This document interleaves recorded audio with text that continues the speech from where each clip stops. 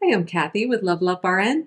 In this video, I will be discussing antimicrobial drugs that work by inhibiting protein synthesis. And then at the end of the video, I'm going to give you guys a little quiz to test your understanding of some of the key facts I'll be covering. So be sure to stay for that. And if you have our Level Up RN microbiology flashcards, go ahead and pull out your flashcards so you can follow along with me. Protein synthesis inhibitors are antibiotics that target the 70S ribosomes in bacterial cells. So each 70S ribosome contains a 30S subunit and a 50S subunit. So the antibiotics that we're going to talk about in this video either bind to the 30S subunit or the 50S subunit and cause changes that prevent the translation of mRNA into proteins. First up, we have aminoglycosides. Aminoglycosides bind to the 30S subunit of the ribosome, causing a structural change that makes the ribosome misread the mRNA. In turn, this causes the production of faulty proteins. Aminoglycosides are bactericidal and broad spectrum. So, bactericidal means they kill the bacteria instead of just inhibiting their growth. And broad spectrum means that aminoglycosides are effective against a wide range of bacteria. Examples of aminoglycosides include gentamicin, neomycin, and streptomycin.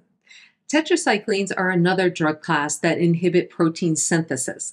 Like aminoglycosides, tetracyclines bind to the 30S subunit of the ribosome.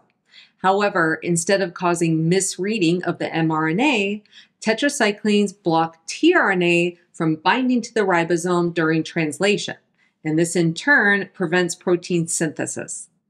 Tetracyclines are bacteriostatic, meaning they inhibit the growth of the bacteria but don't kill the bacteria. And like aminoglycosides, tetracyclines are broad spectrum. An example of a tetracycline is doxycycline. Next, we have macrolides. Macrolides bind to the 50S subunit of the ribosome and prevent the formation of peptide bonds between amino acids during translation. Macrolides are bacteriostatic and broad spectrum, and examples of macrolides include erythromycin, which makes me personally sick as a dog, as well as azithromycin. Lastly, we have lincosamides. Like macrolides, lincosamides bind to the 50S subunit of the ribosome and prevent peptide bond formation. So there are differences in exactly where they bind on the 50S subunit and exactly how they inhibit peptide bond formation. But chances are you do not have to know those differences for your micro class. Lincosamides can either be bacteriostatic or bactericidal at high concentrations. And unlike macrolides, they are narrow spectrum. An example of a lincosamide is clindamycin. All right, it's quiz time, and I have three questions for you. Question number one protein synthesis inhibitors bind to 70S ribosomes in bacterial cells. True or false? The answer is true.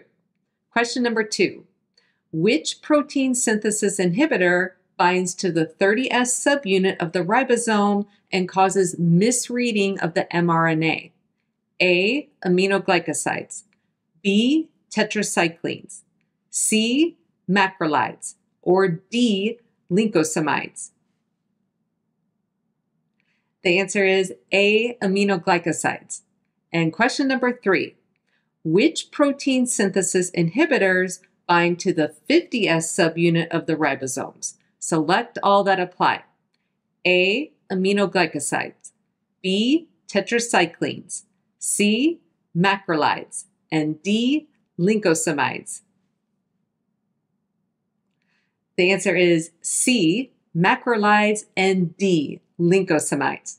All right, that's it for this video. I hope it was helpful. Take care and good luck with studying. We invite you to subscribe to our channel and share a link with your classmates and friends in nursing school.